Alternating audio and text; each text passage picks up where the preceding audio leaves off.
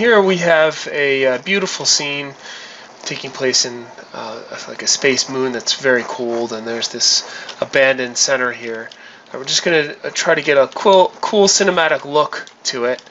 I have a move that I've already done here. I brought the scene in, and I've done this move inside Maya here, where I have the uh, the camera kind of twirling around, and then it backs up, and it's against this like cool bubbling thing over here. So what I did is I just dropped in a camera into the uh, scene here. There it is.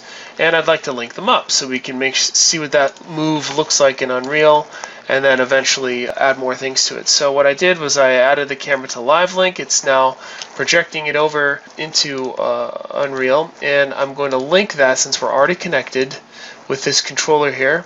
As soon as I select the camera roll, the one that's uh, coming from Maya, it immediately snapped to where its position is in space. So if I were to come in here and then bring my perspective camera and actually just choose it.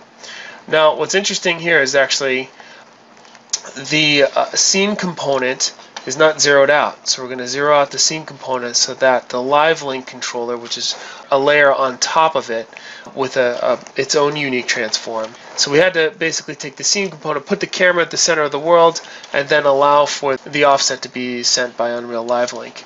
As we as we scrub the timeline now, you, know, you can kind of see this this move that's happening which is uh, a spinning camera, kind of a little disorienting. I can go into Unreal, hit G, so I can get rid of all the uh, icons. But uh, we could continue to add some more moves on it here. If I even come into the camera here, I'm going to auto key on, so let's let's play it out a little more, and then see if we can adjust this a little bit.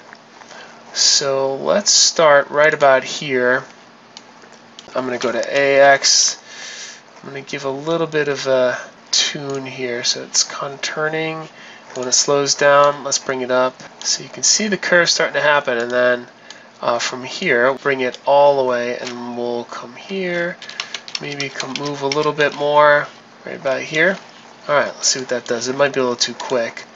But you can see I'm doing both. I'm looking at it over here in Maya and I'm adjusting those moves with what I'm seeing in Unreal.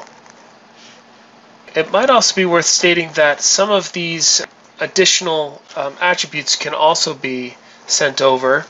And you can see um, as I'm adjusting them here the film aperture right it's adjusting inside of Unreal as well the focal length and there's a few other settings um, in documentation that we can get to the uh, other attributes